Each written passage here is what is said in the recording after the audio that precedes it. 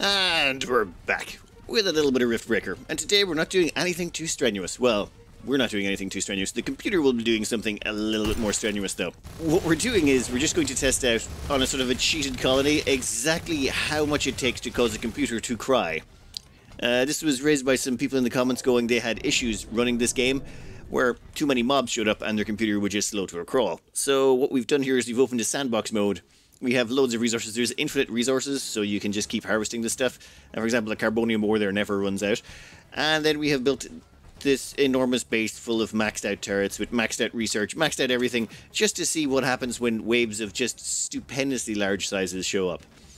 So, we have just built the last headquarters upgrade. Uh, let's see what shows up to try and kill us. Looks like they're all coming from the that side of the map. Let's, uh, let's have a go teleport over. Yeah, there's a lot of baddies over here. Oh, wow, that's, that's way too many. Let's just retreat back to our defenses. And there goes the artillery turrets. And let's see what happens over here, actually. Three, four, five, six, seven, and uh, you know what's what, throw down eight as well. Where's our gravity grenades? Oh, gravity grenades are on three. Dear lord, I love those gravity grenades. They do terrible things to the frame rate, but they are beautiful. Just the, the big blobs they make of everything. Oh, they suck everything in and just turn it into an absolute mess. Game is definitely not liking that. I can feel the game chugging just a little bit, but not as bad as I was anticipating. Let's go maybe check out the other section down here. How are they doing? They haven't even really got to our real defenses. Uh, though I suppose this thing is completely cheated overbuilt and oh my god, it's beautiful. okay. And oh, I love the way it sucks up all the gibs and just spins them around in circles. Oh god, that is beautiful. It even sucks in all the stone chunks. Oh, oh, don't kill us. We're here to watch the fireworks and all the pretty things get chucked about the place.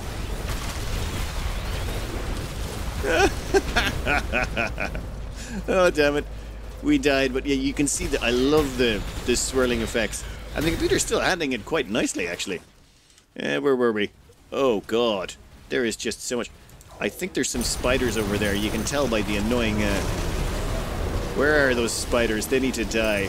They're messing with our defenses. Oh, oh. Run away, run away, run back to the walls. It's the only place that's safe. Though I do love the enormous amount of resources you get. Uh, the uh, When you're doing this, you get an enormous amount of resources just from the corpses that show up.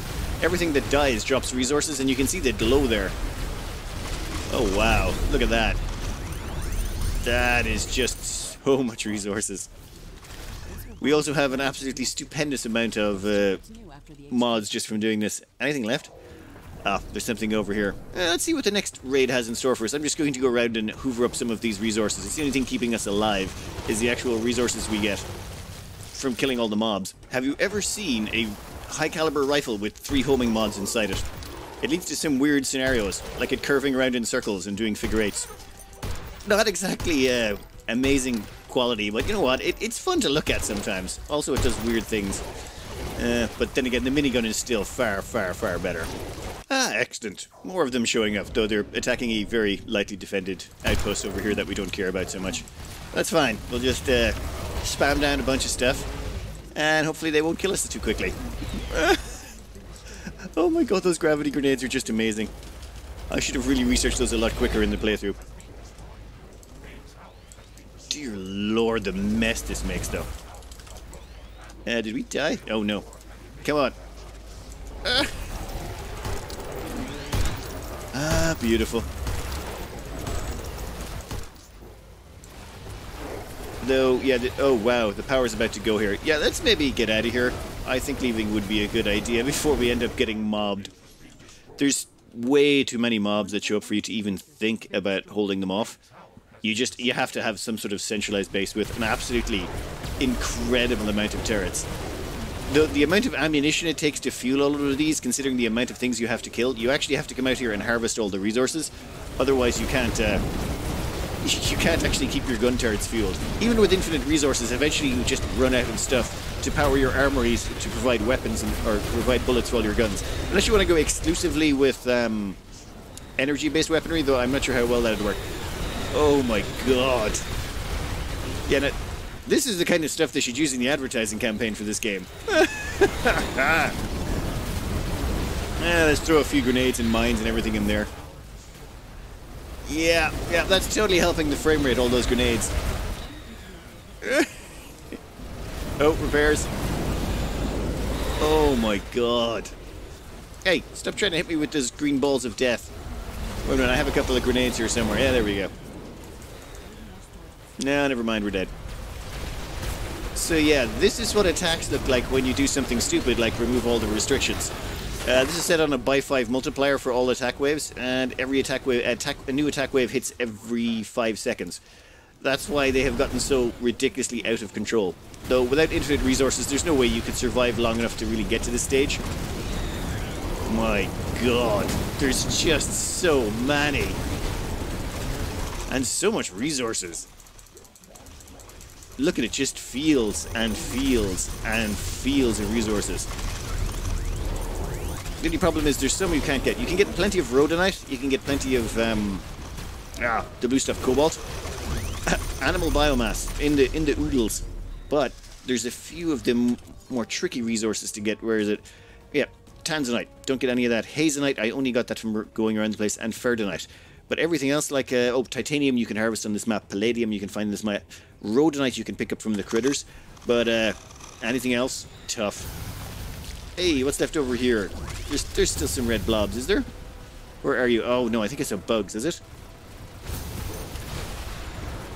Yeah, it's the... Oh, never mind. No, there's plenty left. Yeah. God damn, those gravity grenades are just amazing.